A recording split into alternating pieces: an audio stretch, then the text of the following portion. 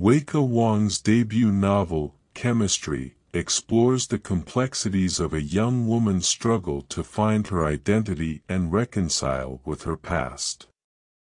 The novel's protagonist, known only as the narrator, is a Chinese-American graduate student in chemistry at a prestigious university in Boston. She is struggling to complete her PhD thesis while coping with the aftermath of her parents' expectations and a failed engagement.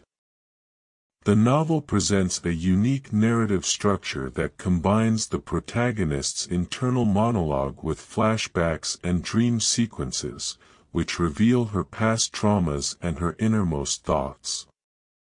One of the most striking aspects of chemistry is its vivid portrayal of the narrator's internal conflicts.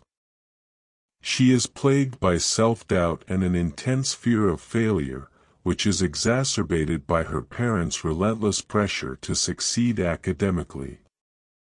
The narrator's mental and emotional turmoil is conveyed through her fragmented thoughts and stream of consciousness narration, which effectively captures the anxiety and confusion that she experiences. For instance, she oscillates between wanting to quit her PhD program and feeling compelled to complete it, as it represents her only chance at success and validation.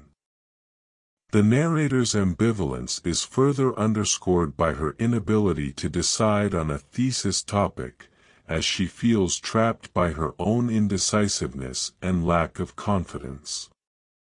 Another significant theme in the novel is the narrator's struggles with her cultural identity and her relationship with her parents.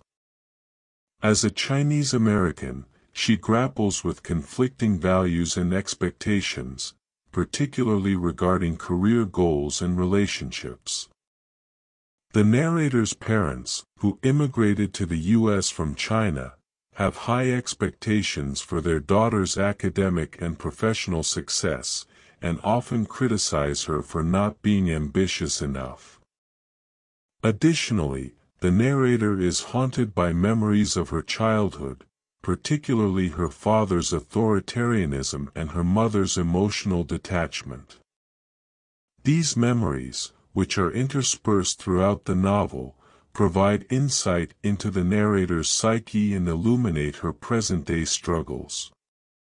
The novel also explores the narrator's romantic relationships, particularly her failed engagement with a man she calls Eric.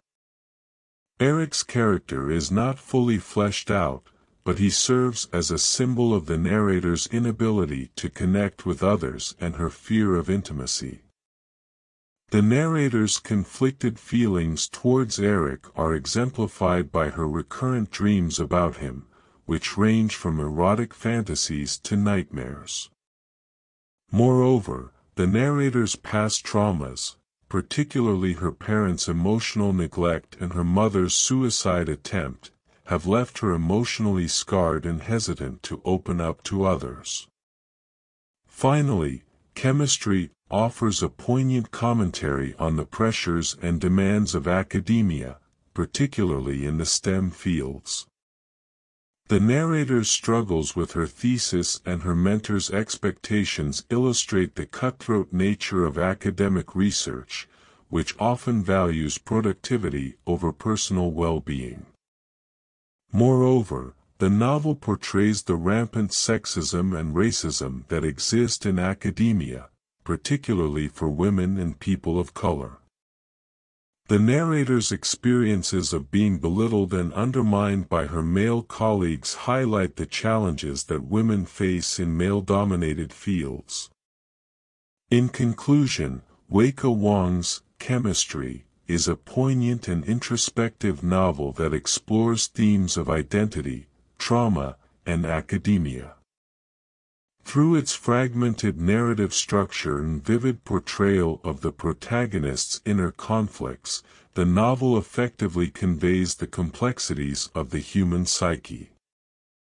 Moreover, the novel's commentary on cultural expectations and academic pressures is timely and thought-provoking. Overall, Chemistry is a masterful debut that showcases Wang's skill as a writer and her ability to capture the nuances of the human experience.